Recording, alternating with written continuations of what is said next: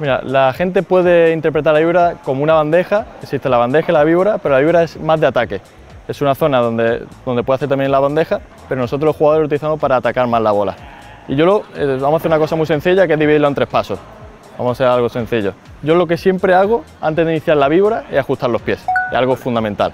Una vez que tengamos los pies ajustados, el, ar- el armado del brazo, siempre arriba. Nunca, si empezamos a, hacer, eh, a bajar el brazo más de la cuenta, ya la víbora va a hacer así, de forma ascenden- ascendente. Entonces, una vez que tengamos los pies ajustados, el brazo arriba, ahí empezamos el, in- el inicio del afeitado, como nuestro amigo de Philly.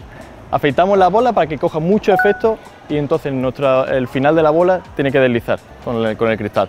La bola tiene que hacer un, efecto así, de arriba hacia abajo en el cristal. Nosotros cuando estamos esperando la bola estamos así y cuando vemos que la bola va en dirección del globo, en este caso mi pie izquierdo porque soy zurdo, ya empiezo a retroceder y ajustar los pies. Cuando ya me coloco, armo el brazo, ahí afeito la bola, por el costado. Si afeitas por abajo, la bola va a hacia arriba. Siempre por el costado para que coja ese efecto y cuando llegue al cristal rebote muy poco.